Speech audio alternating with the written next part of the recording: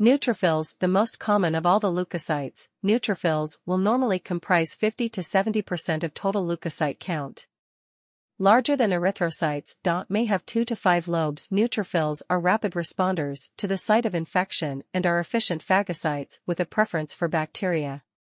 Their granules include lysozyme, an enzyme capable of lysing, or breaking down, bacterial cell walls, oxidants such as hydrogen peroxide, and defensins, proteins that bind to and puncture bacterial and fungal plasma membranes so that the cell contents leak out. Abnormally high counts of neutrophils indicate infection and or inflammation, particularly triggered by bacteria.